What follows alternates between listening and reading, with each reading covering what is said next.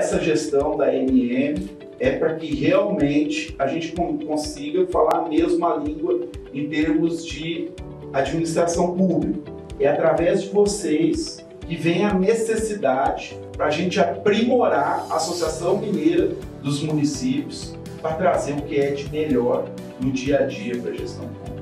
A Associação Mineira dos Municípios sai na frente, fazendo seminário dessa importância, para que você possa orientar os profissionais da área da contabilidade que realmente é uma coisa de sua importância. Hoje a contabilidade, seja ela pública ou privada, ela prima pela excelência. Então é preciso um, um, contador capacitado, é preciso que ele participe desses fóruns.